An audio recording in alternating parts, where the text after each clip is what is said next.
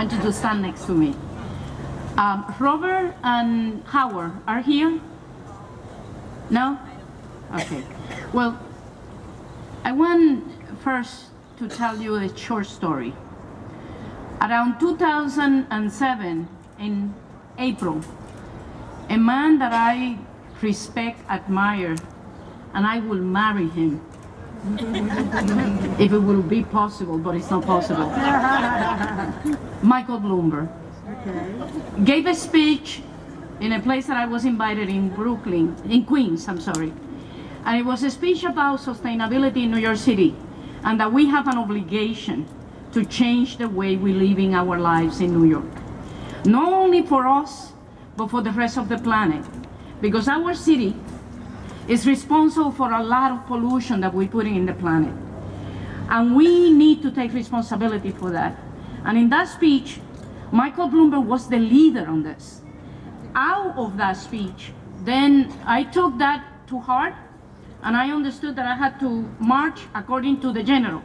And he's 20 star general, the biggest one in the whole planet. And at the time, we put the green agenda in place. And one of the first things that we did in 2007, at the end, the beginning of 2008, was to come to talk to this lady with a group of people from NYCHA, Howard and Robert. And we came to talk to them about this particular idea. I personally thought that she would say to me, you know, go home. I don't need to hear about this business of putting a farm in this place. But she didn't do that. She joined the Believer Group.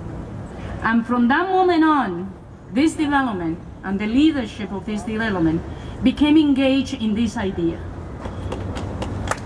This idea.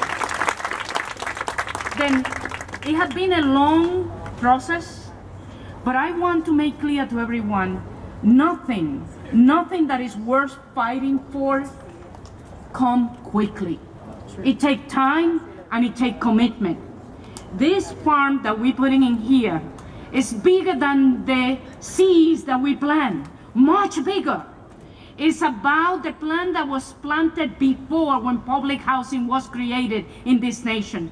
It is about to say that a nation is great as the nation take care of their own people.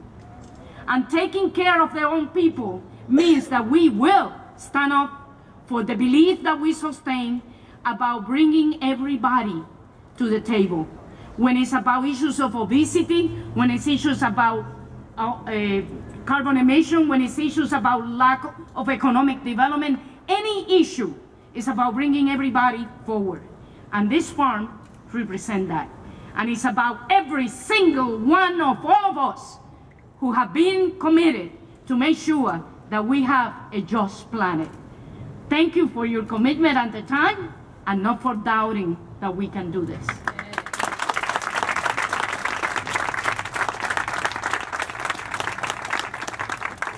Thanks so much, Margarita. Uh, our next speaker is the Mayor's Food Policy Coordinator, Kim Kessler.